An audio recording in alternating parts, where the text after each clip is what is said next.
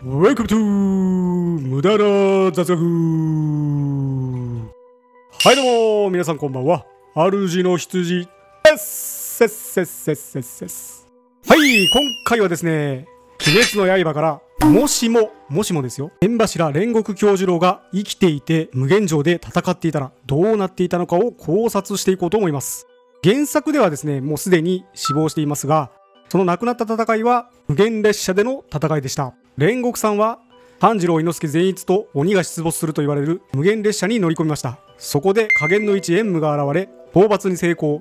その後にさらに上限の3赤座が現れました。煉獄さんは縁武戦で負傷した炭治郎たちをかばい一人で赤座に立ち向かいます。両者互角の戦いが続く中再生しすぐに回復する鬼の方が有利。結果左目肋骨内臓に致命傷を負わされそれが原因で死亡します。そして赤座というと日が昇る寸前で逃げていってしまいました。そして赤座が死亡したのはというと無限城での再戦でのことでした。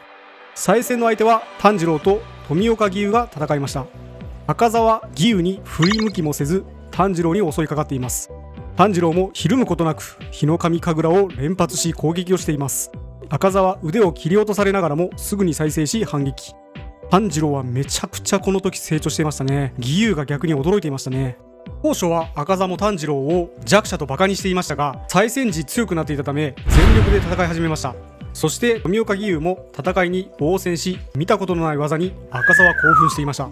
激しい戦いの中義勇はついに技を発現させ炭治郎は透き通る世界を得得。義勇と死闘を繰り広げている間に炭治郎の気配に気づかず攻撃されます。義勇と炭治郎に次々切りつけられ首が落ち体だけ動かし炭治郎は気絶させられ重傷だった義勇と戦います。しかし再生しようとしたが小雪との人間だった頃の思い出を思い出し再生をやめ死を受け入れました。これがざっと赤座の再戦のあらすじになります。さてここからが本題なんですがもしも仮に煉獄さんが生きていたらどうなっていたのか。上限の鬼は柱3人分に匹敵する力を持つためにあざの発言は、まあ、勝利への必須条件となりますね。あざを発言すると移動の速度攻撃速度が大幅に向上させることが可能になります。そしてあざの発言条件といえば体温が39度以上心拍数が200以上、まあ、どんな状態かというと、まあ、例を挙げて言えばインフルエンザの状態で戦う、まあ、こんな感じになるでしょうね。あざ持ちの剣士が1人現れると周りの剣士にも伝染するようにあざが発現すると言われています。そして400年前にあざの代償により大使たちが激減し北死亡らの火の呼吸狩りにもあって鬼殺隊は一時期壊滅状態の危機に瀕した時期もありました。ではなぜ今の大使が次々とあざが発現したのか。それは最初に本格的なあざを発現させたのは遊郭編での炭治郎。だから伝染するように次々とあざが発現したと思われます。となると煉獄さんが勝てるとしたら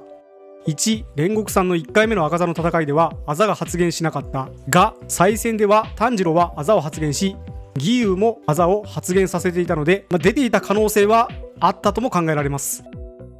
21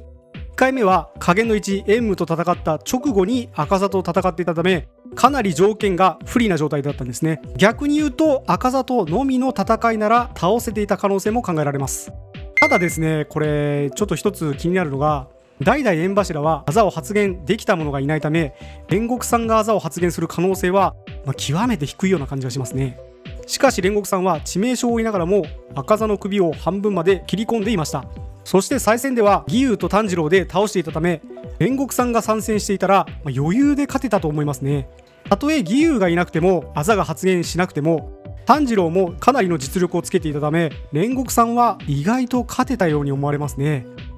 なので無残戦までひょっとするといけていたのではないかと考えられます。元来ですね炎の呼吸はあざなど発現させなくともそれに近い力はすでに発揮させていたため他の呼吸があざを発現させる以上のことをしないと命に関わるため発現できなかったのかもしれないですね。そのためもしも炎の呼吸があざを発現させたらとんでもない力を発揮させることになっていたのかもしれないですね。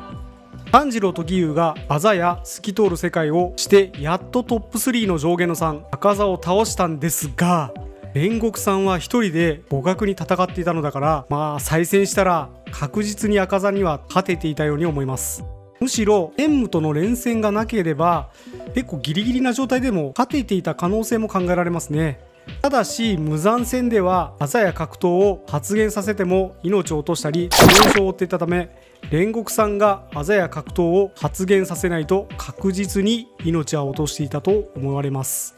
煉獄さんの死亡したことで炭治郎の闘争心をかきたて活力となっていたため生き延びていたら、まあ、ここまで心打たれるストーリーにはなっていたかは、まあ、ちょっと疑問は残ります。が